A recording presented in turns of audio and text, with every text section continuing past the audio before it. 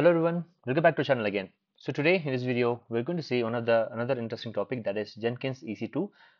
Okay, so fix the disk space issue on built-in agent. Okay, for example, we have installed Jenkins in the last video that you know we installed Jenkins on Amazon, you know Amazon Linux. So so most of the times we'll be facing some kind of a basics issue. Okay, so that is kind of like you know built-in agent. I know we have a disk space issues on built-in agents, right? So we are going to see how to fix that okay so now in the last video as you can see you know we have installed uh, Jenkins on you know so Jenkins on EC2 instance you know so we all these steps we have followed. Now um, if you go back to, and if you, if you create a new item um, you know a new work items like you know so new project I'm going to give cloud institution okay cloud institution project okay so cloud iPhone institution okay so I'm going to choose a freestyle project okay. So now I'm going to click on okay now okay i'm not going to do anything. I just i'm just going to add a build step and i'm going to give execute shell. I just give give echo uh, and hi. I'm just hiding this hi message all right? So i'm just going to save it. So whenever i'm just building it now okay? So when i'm just trying to build it so build will be scheduled okay? So it'll be telling that you know waiting for a waiting for next available executor okay this is really weird right? You know so it's always like telling me that waiting for a next available executor. So as much as much as the time we wanted to wait so it'll keep on telling that. So if you can you may wonder that why it is this asking. So everything else whatever you have mentioned over here is correct okay? But it is telling that you know so why it is just still giving me this kind of errors like you know so waiting for the next available executor okay so now what I have to do is that it, it, it, it will never proceed for the next next stage okay? So we need to we can cancel it. Okay so because I'm going to cancel I'm going to show you um, how to fix this issue permanently. Now if you go back to the dashboard okay um, so this is the this is the basic you know the main dashboard. So now where we have to go to manage Jenkins okay so click on manage Jenkins. So there are various options are there. Okay, so systems and tools and plugins and appearances, cloud, nodes and security, all these things are there. okay, so now what happens is that if you are, uh, you know, if your, uh, you know, if your node is not being configured properly, then it will give you all, all this kind of issues. Okay, so I'm clicking on node and there is a built-in node is there okay so as you can see here the free swap swap space issue 0.000b okay 0 bytes and then free temp space um, space was 470 MB. So how to fix this?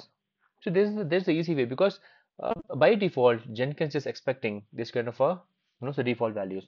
But so as a recommendation, if you go if you're going for a real-time production environment, it is better to add a new node. Okay, so in the later classes we we will see how to add a new node, um, you know, to run all your jobs because to reduce the load you know so to reduce the load of your jenkins you have to do and you have to create this kind of a nodes. But for now if you want to have a very quick fix okay so what you have to do is you have to click on uh, settings okay. So number of executor is two okay. So this is the uh, parallel execution of uh, jenkins instances and how many times you are going to execute it okay. So that is there.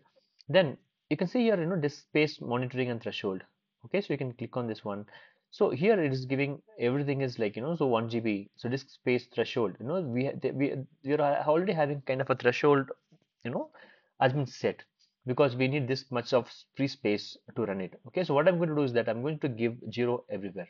Okay I'm just going to give zero and zero and zero and zero. Okay this is a really uh, quick fix saying that you know I don't need any disk space uh, threshold to be reached for the monitoring okay so I'm going to click on save. Okay so once you uh, once you save it okay so I'm going to click on bring back this node to online okay? So now the disconnected by the cloud institution okay? So now if you can go for the nodes okay? So the built-in node is showing okay? The free uh, swap, space is showing the zero zero space zero b that's fine. But the the you know temp space issue was fixed okay. So now still is showing like the the cross line but it's fine I believe. Let's go back to our uh, dashboard and then I'm going and to the cloud institution is the project. So now I'm going to build now.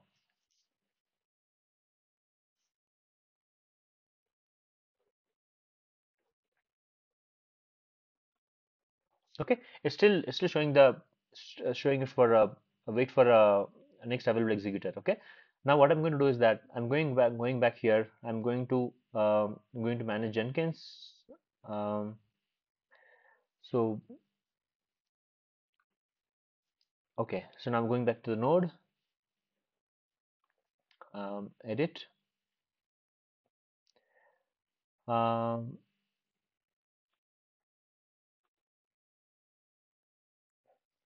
okay. So use this node as much as possible and um, this space okay so 0 MB I'm just trying to give 0 uh, MB or uh,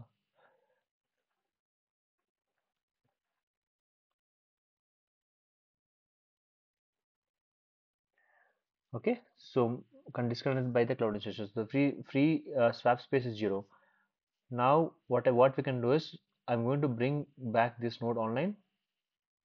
Okay so now this issue is fixed. Okay so now um, as you can see here uh, if you go to configure and then if you can go to the nodes um, number of experiments shave and all these things uh, so I think it seems it seems to be fixed actually. So I'm going to the node. Okay so this error, error is fixed. Okay so now uh, the thing is you have to give the MB kind of thing. Okay so now the, if you go for cloud institution that build is already been successful okay so likewise you can just fix this error in a fraction of fraction of minutes okay? So now the echo hi is being successful. So this is the very really uh, quick fix that what you can do with the uh, Jenkins right? So if you want to run and one more one more build as well you can just go back here and then you can just run it.